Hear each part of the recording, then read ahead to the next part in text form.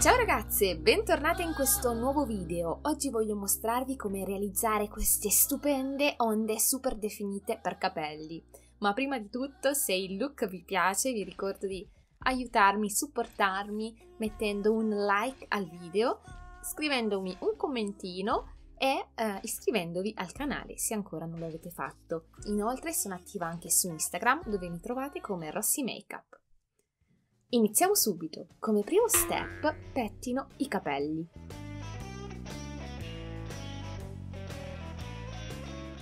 A questo punto divido i capelli in due sezioni usando una molletta.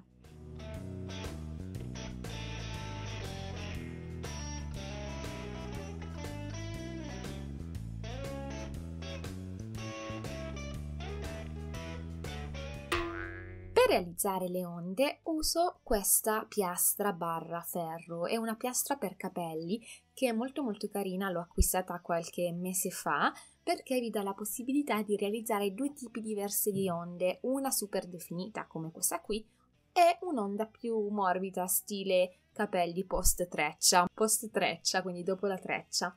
Però io uso questa super definita. Prendo quindi una ciocca, inserisco il ferro, lascio agire qualche secondo in base anche a quanto i vostri capelli sono più o meno ricci e successivamente procedo per tutta la lunghezza.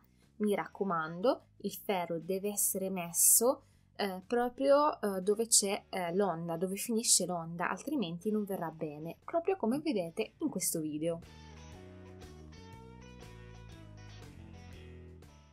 Come quarto step passo un po' di lacca, spruzzo un po' di lacca che è super fondamentale per dare quell'effetto lucido ancora più definito e ovviamente per far sì che la piega regga fino a sera. Ma vi dirò un altro segreto.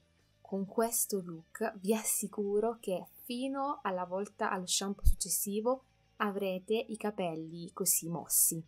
Magari non come il primo giorno, però sempre bellissimi e ve lo dice una che i capelli super lisci e a cui i boccoli non durano neanche mezza giornata. Vi assicuro che in questo modo, con questo metodo, il, i capelli ricci, diciamo così, vi dureranno fino al prossimo shampoo. Provate. Quindi procedo sulle altre ciocche e eh, quindi prima da una parte e poi dall'altra.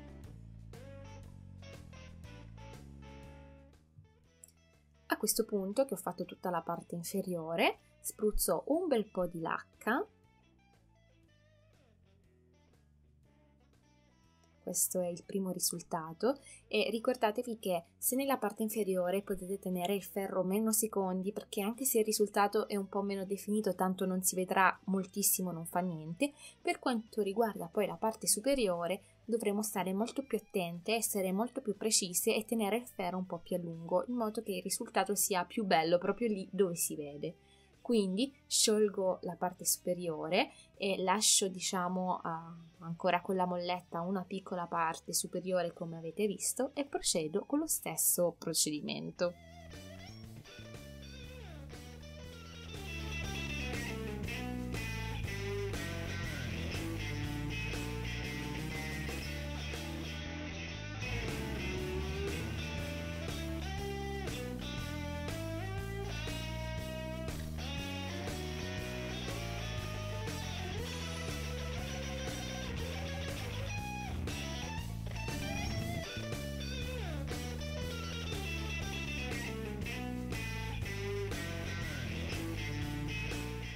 Ecco qui, sciolgo l'ultima parte, il ciuffo, e qui devo essere super precisa perché è la parte quella che si vede più di tutti, che attira prima di tutte l'occhio.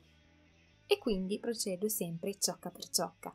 Ricordatevi ovviamente che più le ciocche sono piccole, più il risultato sarà bello e definito. Più le ciocche sono grosse, più il risultato sarà magari un mosso più morbido.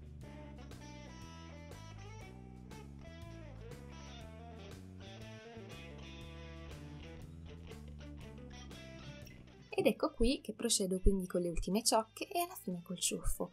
Mi raccomando, fatemi sapere in un commentino cosa ne pensate e se vi piace questo metodo provatelo, perché anche se siete super lisce, liscissime, vi assicuro che la piega vi durerà fino all'ultimo giorno quando dovrete lavare i capelli perché saranno poi ormai troppo sporchi. Al massimo potete riprendere sempre col ferro qualche altra ciocca. E questo è il risultato finale. Alla prossima! Ciao!